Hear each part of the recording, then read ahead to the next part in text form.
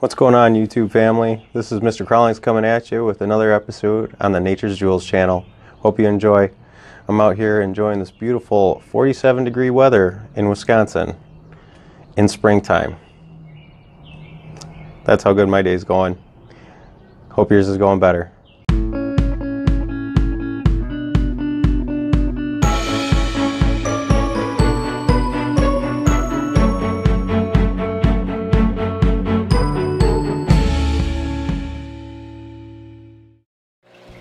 All right, here we go. Back at the update. God, I want to say this has got to be around eight months now of the red-eyed crocodile skink vivarium. As you can see, it's filling out beautifully, and I went ahead and took a couple uh, alternative approaches. So uh, a lot of the riccia that I had in the aquatic section kept getting pushed out by the trumpet snails, I think they are. They're just like a pest snail, but they're really great at uh, digging through the substrate. And unfortunately, Riccia is one of those shallow rooted plants that gets kicked up quite often, especially with their uh, the snail's digging habits uh, going through the substrate. So, um, yeah, it didn't work out so well. I put some of it up here on the on the uh, Eco Earth and organic potting soil mix. Also, um, little update on my Victory Bell is doing amazing. You can see a new picture there. Uh, right now we're running full light, so if you get a little glare, if I get too close to the um, enclosure, you'll you'll see a little reflection, but hopefully I'll be able to manage that pretty good.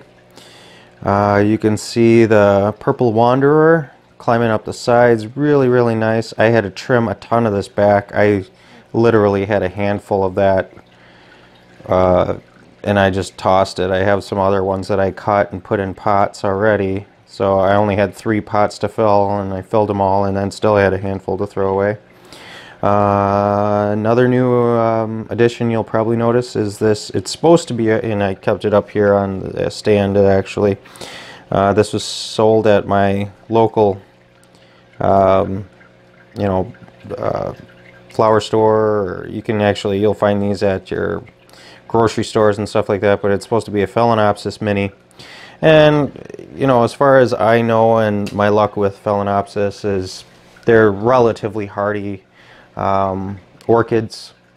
And I'm hoping that um, by keeping them in this uh, humid conditions, you know, I'll just have to pay really good attention, make sure I don't get any root rot, but it's got a lot of really nice blooms, and I really just, I think that white just added a lot to the tank. There's already a lot of, you know, we got the pink star bromeliad going on, we got the purple wanderers, we got the the red in the in the pitcher plant, um, and a lot of other things throughout. I really thought that white was a nice touch with the the yellow bells in the center.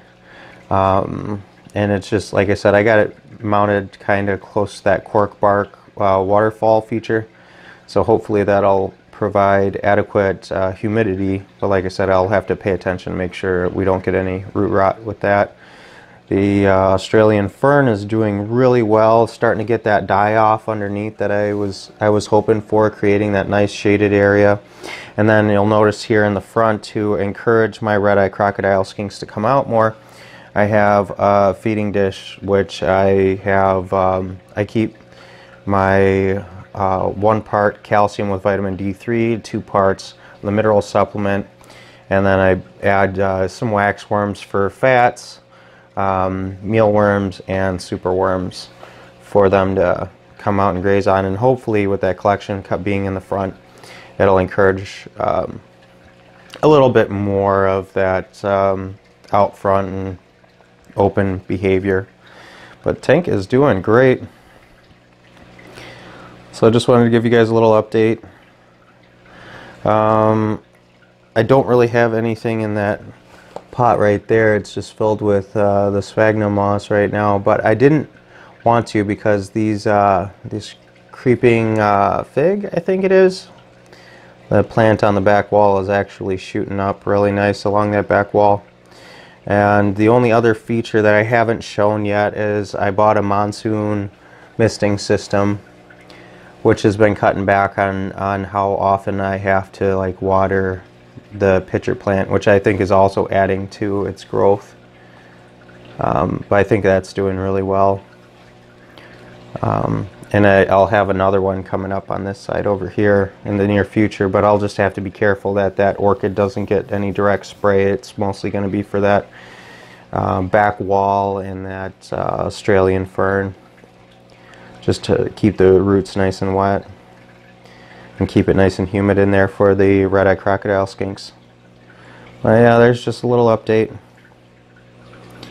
And per one of my viewers, actually, he recommended the, cleaning the glass with uh, the white vinegar. So I really appreciate that, and I appreciate all the subs and all the comments, likes, you guys. It's it's a huge booster, and knowing that I'm doing something right, and that you guys appreciate this little vivarium, and that you know, hopefully, I encourage you guys to be as creative and um, you know, desire something like this in your own home because, you know, just being in the hobby for years and uh, committing to something like this for my animals and making sure they have um, what I feel is uh, ideal condition and more naturalistic environment.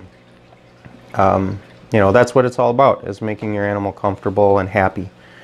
And that's what I've tried to create here plenty of swimming areas, not just soaking areas, and and all my little male guppies down here. These guys are starting to look pretty damn cool.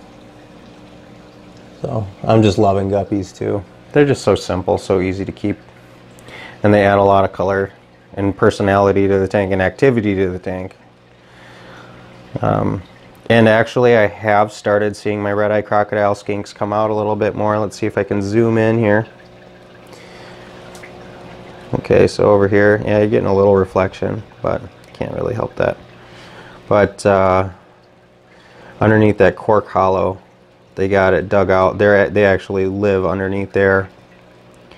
So they they come out. I've seen them on top, sticking their head out, um, right about. Let's see, without screwing up my finger here, right about there. In the reflection, you can see my finger, and then they come out from underneath here. Um, but uh, yeah, they that's where they come out. And they've also noticed they've dug out in uh, this area back here where I got some dead leaves and stuff like that. And basically that's just me pruning back um, any of the die-off from some of the plants. I put that in there for my springtails to kind of break down and stuff like that. Still got to get some isopods in here. I haven't seen them in, in there for a while. But uh, Hope you guys enjoyed, just a little update. And then uh, here coming up in the very near future, I'll show you my community pea puffer tank and how well that's doing. Ugh. Yeah, that kind of sums it up. But I will show you what we're going to go ahead and do to correct that. Hope you guys enjoyed. And if you keep it, keep it crawling. Later.